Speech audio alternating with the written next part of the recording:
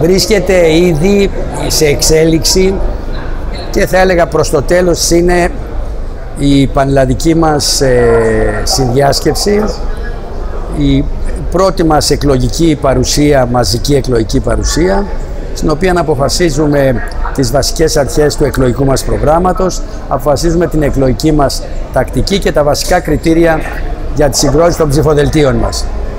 Ε, υπάρχει ένα κλίμα συστράτευσης, ενότητας και μαχητικότητας.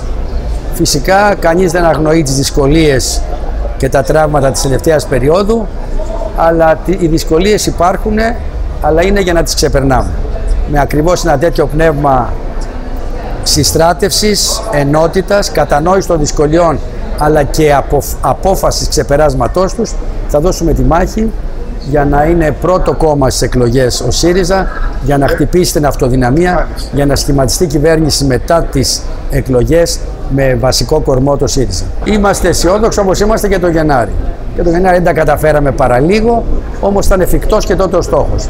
Και τώρα παρά τις δυσκολίες ο στόχος είναι εφικτός, διότι ακριβώς κάθε μέρα που πλησιάζουν οι εκλογές, ο κόσμος συνειδητοποιεί τι έχει να επιλέξει. Και ανάμεσα στο δίλημα, το πω έτσι λαϊκά, Τσίπρας ή Μεϊμαράκης, παλινόρθος των Βουρβώνων ή βήματα μπροστά και σταθερά, ε, δεν νομίζω ότι υπάρχει πολύ μεγάλο δίλημα. Η επιλογή είναι Τσίπρας, σταθερότητα και προχώρημα της χώρας προς τα μπρος.